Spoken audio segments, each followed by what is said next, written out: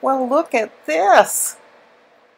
Piper sees that cat pillow that looks like her. I put it up there so she couldn't tear it apart. Yeah, you saw how she was playing with it earlier, and it's not exactly the strongest thing in the world. But she sees it up there. Look at that. Yeah, I put it up there deliberately so you couldn't get it, baby. I'm sorry, but it has to be that way. Yeah, I know, I know. I know, baby.